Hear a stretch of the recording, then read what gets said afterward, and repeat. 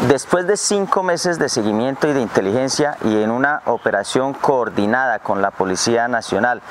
e interinstitucional con la Fiscalía General de la Nación, se logra la captura de ocho personas y la aprehensión de un menor en el municipio de Barbosa, Santander.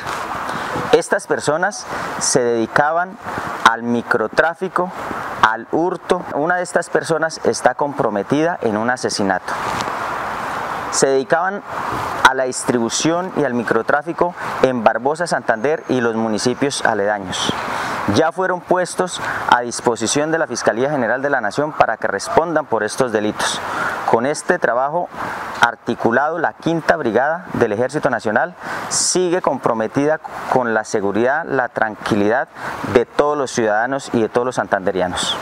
En un proceso investigativo adelantado por nuestras unidades de Policía Judicial, el Modelo Nacional de Vigilancia Comunitaria por cuadrantes, con el apoyo de la Fiscalía General de la Nación y el Ejército Nacional,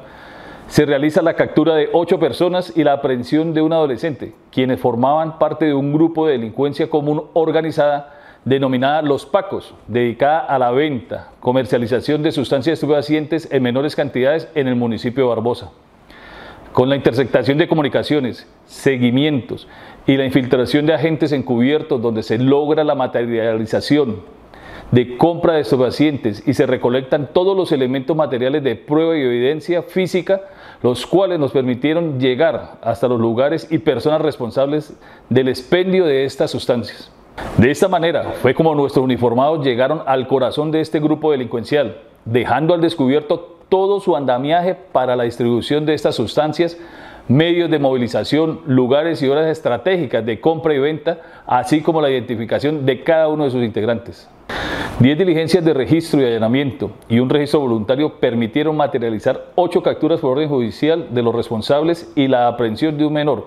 por los delitos de tráfico, fabricación o porte de estupefacientes y uso de menores para la comisión de delitos. Luego de que estas personas, en su mayoría de nacionalidad extranjera, fueran dejadas a disposición de las autoridades competentes, un juez de la República les dictó medida de aseguramiento intramural en centro carcelario y el menor fue trasladado a un centro especializado para menores de edad. Invitamos a todos nuestros santanderianos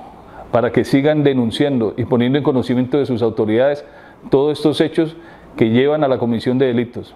a través de nuestras líneas de emergencia 123 o a través de los teléfonos de la estación de policía más cercana. Es un honor ser policía.